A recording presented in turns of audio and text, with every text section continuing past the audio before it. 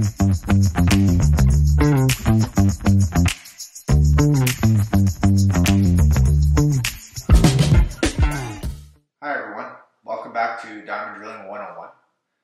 the last episode, we discussed casing off overburden.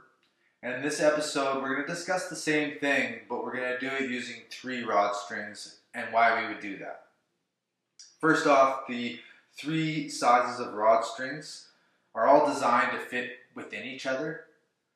The three that we use are NQ, HQ, and PQ, also known as HWT. In this diagram, the driller is attempting to advance his casing to bedrock, but he's meeting too much resistance within the overburden, and his drill is being overpowered by it. He just doesn't have enough torque in his system to continue drilling and advancing that casing rod string to bedrock.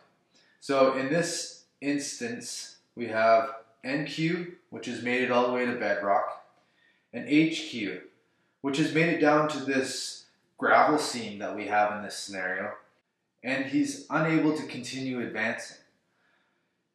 If he were to pull his rods out of the hole, the same thing would happen, just like in the last episode where the hole caves in on itself, and when he re-enters the hole, he could deviate and start a new hole.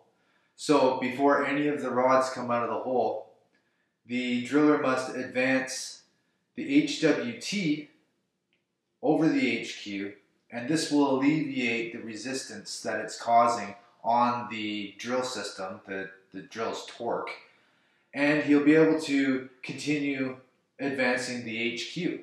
And now you're able to pull your NQ out to change the bit and to continue drilling and control your cuttings. In our next episode, we're going to discuss the core barrel, the inner tube, and how we should be chasing our core barrel with our casing.